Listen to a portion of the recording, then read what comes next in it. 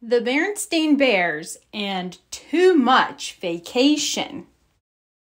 Well, that's everything, said Mama Bear as she and Sister and Brother Bear held the car trunk lid so that Papa could tie it down. Not quite, said Papa, running back into the treehouse. We almost forgot the camera, he said when he reappeared. What good is a wonderful vacation without photographs to remember it by? Good thinking, Papa, said Brother. May I take some pictures when we get there? And how about me? Sister wanted to know. Of course you may, said Papa as they bundled into the car. We're all going to take pictures of the most wonderful vacation the Bear family has ever had. All right, now everybody buckle up and we'll be on our way. Four safety belts clicked into place and they left their safe, comfortable treehouse and headed for the excitement and adventure of a vacation high up in the wilds of the Great Grizzly Mountains. It had been Papa's idea to take their vacation in the Great Grizzlies. It'll be a real wilderness experience. We'll live off the land. We're getting too soft here in the valley with all our supermarkets and other conveniences. When he saw the ad in the newspaper, there was no holding him. It said, Try a wilderness vacation, a lovely mountain cabin complete with a rowboat by beautiful Crystal Lake. Ah, said Papa, painting beautiful word pictures, to wake with the rising sun and catch our breakfast from a clear mountain lake, to bathe in its sparkling water, to snack on delicious wild berries as we tramp the mountain trails. To gaze at the beauty of a mountain sunset, then to sleep through the peace and quiet of a mountain night, far from the noise of traffic and neighbors' barking dogs. It all sounded great to the cubs. What kind of fish will we catch, Papa? asked Brother. Trout, no doubt, he answered with supreme confidence.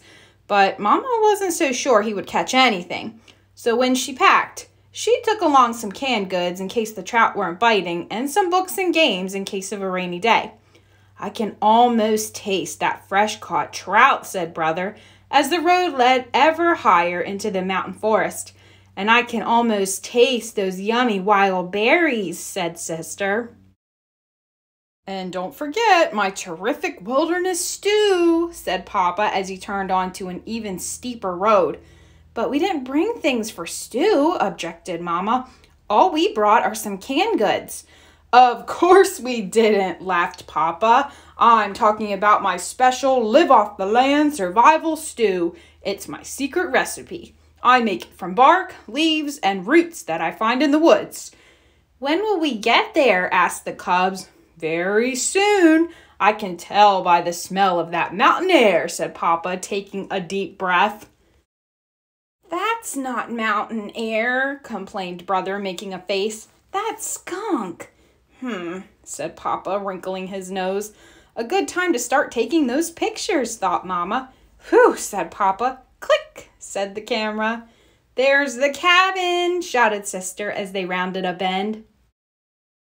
And there it was indeed, a mountain cabin beside a lake, complete with rowboat. Of course, it wasn't quite as they had pictured it from the ad, Crystal Lake looked more like mud soup. The lovely mountain cabin looked more like a tumble down shack. There was a rowboat, all right, but it was half sunk in the lake. But Papa wasn't the least bit discouraged. He was more excited than ever. It's perfect, he shouted. The most perfect live off the land vacation spot I've ever seen. Mama wasn't so sure. She noticed that there were no wires leading into the cabin, which meant there was no electricity. That's the last thing we need, scoffed Papa.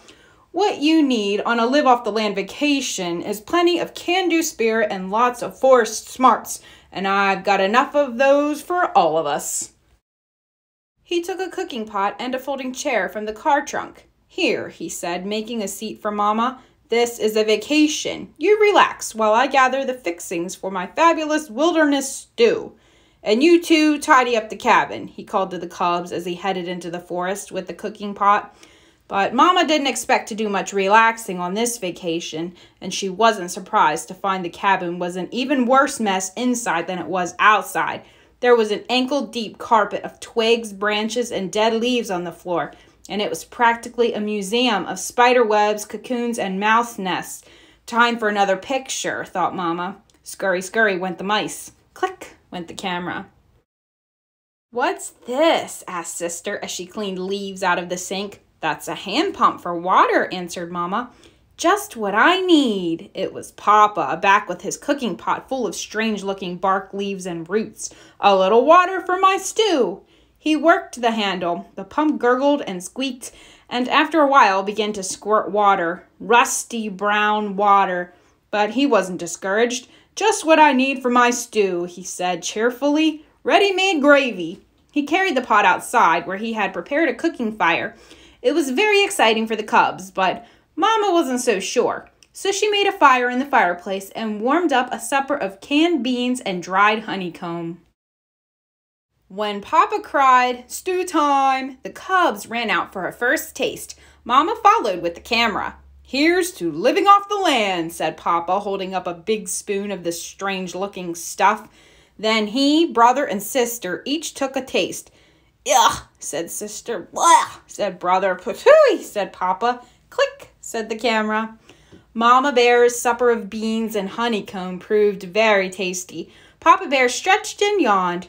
Now, early to bed so I can get up with the sun and catch our breakfast.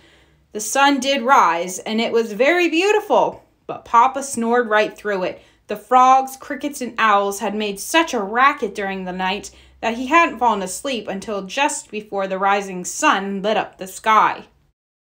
Papa began to get a little discouraged when he went out to catch breakfast. The boat sank as soon as he stepped into it, and all he caught was a gloppy mudsucker that made snuffling noises and stared. Snuffle, snuffle, glop, said the mudsucker. Click, said the camera. It was Papa's turn to snap the picture when Mama and the cubs tasted the wild berries. The thorns were something fierce, and the berries were so sour even the birds puckered. Later, there was a perfectly beautiful sunset, but the bear family didn't get to see much of it.